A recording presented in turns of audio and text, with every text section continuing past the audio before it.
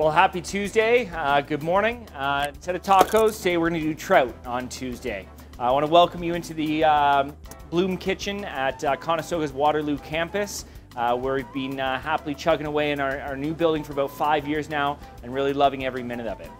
Uh, today we're going to do sort of a take on the prosciutto and melon salad, garnished with a beautiful filet of Ontario trout. It's a really classic Italian dish that we've sort of Canadianized and made our own.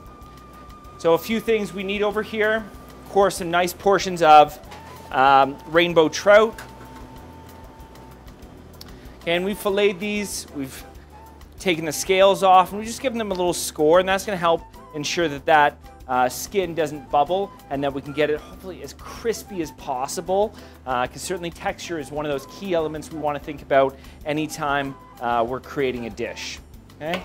In addition, We've got a, a, beautiful mint and arugula puree, just spiked with a little bit of lemon juice and olive oil uh, to kind of bring it to life. Okay. We've got some uh, melon that has been soaked in a mint simple syrup, so both some cantaloupe and some honeydew. Some wonderful uh, arugula, pea tenders, thin sliced shallots, roasted grapes, and this is all going to create a really lovely appetizer. Nice way to light, fresh dish to kind of wake up the palate with that trout there is that really uh, satiating element to start to fill the belly a little. Okay. I'm going to welcome King Shook over here as well. He's one of our first year culinary students, one of our rising stars, and together we're going to each cook a portion of this dish. So over here in our cast iron pan, we're going to start by just putting it on our French top stove. Um, this is a more powerful version of any stove top. Uh, one of the primary advantages of this versus a more traditional gas stove top or electric stove top at home uh, is its capacity to hold heat. We've got a few very, very powerful burners under this uh, inch thick slab of cast iron. And so this is gonna help us heat our pans quickly and keep them hot so we can maintain that nice uh, temperature all the way through the fish's lifespan, okay? While that's happening, we're gonna make sure that our fish is nice and dry. Okay, anytime you're looking to crisp the skin, you want to make sure there's no scales, and you want to make sure you're starting with very, very dry skin. Because of course, to get something crispy, you need to remove as much moisture as possible. Okay, so doing a little bit of that work here is just going to make our life easier once it gets into the pan. Okay, we'll season these both with salt on the top and then a little salt and pepper on the bottom.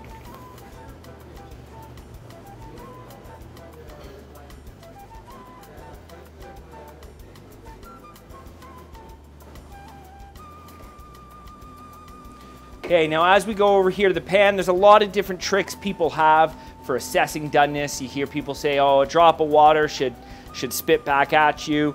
Um, I always look, and this is perfect timing, we're just starting to see it, little wisps of smoke. When we're searing trout skin and trying to get that crispy, crispy skin, if we want to imagine that the floor is no heat at all, and that this point right here is smoking hot, we want to cook just under that smoking hot point. Sometimes that means pulling our pan off the heat for a minute or adjusting the heat below it if we've gotten a little too hot, but really trying to walk that fine line between very hot and too hot. Okay, a little bit of canola oil to start here. Okay, now King Shook, as you add your trout into the pan, you're to do just like I am. You're to swirl this around. Okay, to coat the whole bottom of the pan. Okay, and at this point, we're going to tilt it forward. We're to put our trout in and let it fall away from us. Okay, and that ensures that any splashing of hot oil that might happen happens the direction we want it to go which is not, our, not towards us and our skin.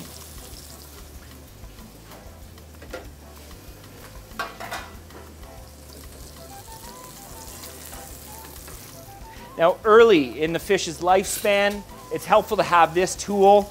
Um, this is a fish spatula, it's called that, uh, because it's so great for this exact context. It's very, very thin uh, and it's very, very flexible.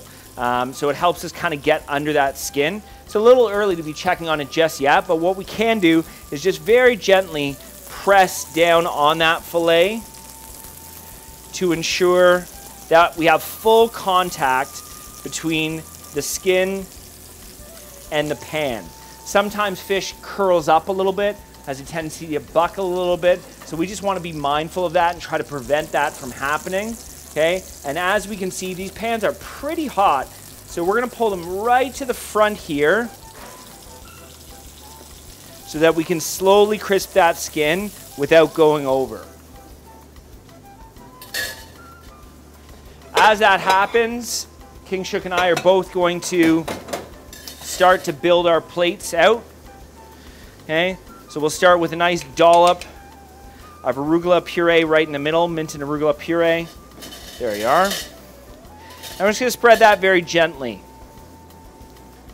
Okay, whenever I'm plating a sauce in this way, I'm always going to keep the edge of the spoon behind the edge of the puree so I can spread it out and have it look almost like a pizza crust, that nice rounded edge, which looks a little nicer and a little bit more intentional than if we've gone over it and create that sort of feathered edge uh, that looks not quite as polished and professional. Okay, just very quickly checking back in with our fish, continuing to just very lightly push down. And trout's a very thin fillet, so we can already see King Shook's fish is what do you say, about 50% of the way cooked through, right? We can see that um, flesh turning a little bit more opaque uh, and sort of a lighter, sort of peachy color. Um, mine was just a little bit thicker, so it's taking a little bit more time. Okay. When we're cooking this fish in particular, I like to cook it, if we think about steak temperatures, sort of like a medium well, right? Trout doesn't like being raw. Sashimi trout's not really my thing. Uh, but we want to be very careful it being a fatty fish, not to overcook it, because that's going to dry it out. So we want to maintain a little bit of a rosy color to it. Okay? We'll just turn back around here towards the salad and take our next steps. Okay, with a little paper towel here, we're to take a few pieces of melon out and just blot them dry.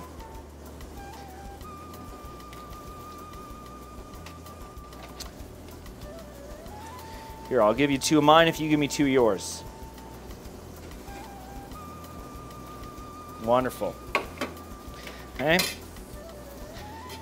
And we're just to build sort of four corners to our circle, just alternating.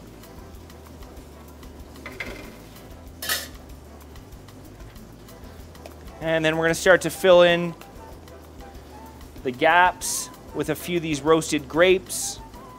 Okay, we've just blistered these in a hot pan with a little bit of oil. And it's really the sweet and savory contrast in this dish that makes it really special.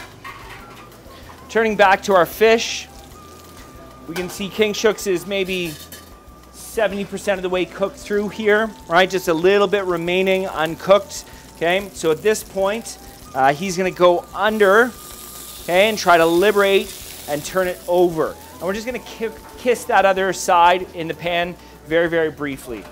So let's see if you can do that for me.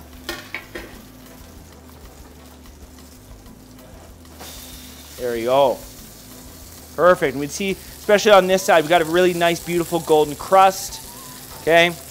Over here, check in on mine as well. Okay, and likewise, got that nice golden crust.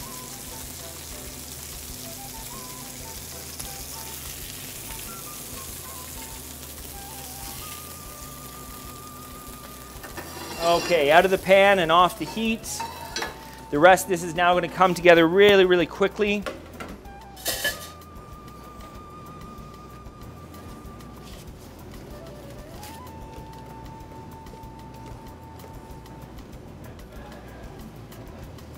Okay, a few leaves of arugula. Okay, and these I don't mind if they start to sort of peek out from around that puree.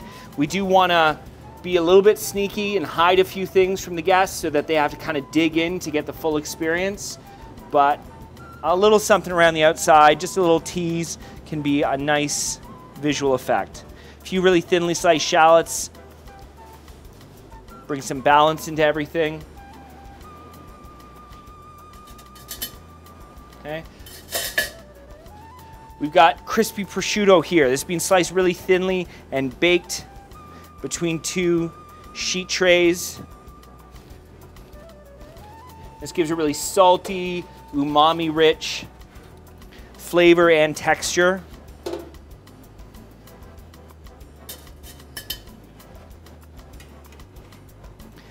And we'll cover that all over with the trout.